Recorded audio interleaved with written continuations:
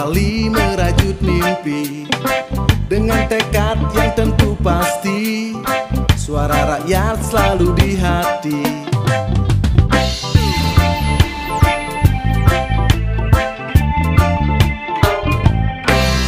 Pak Edwin bekerja keras Siap rampungkan segala tugas. Dengan sosok penuh integritas banjir dukungan dan loyalitas.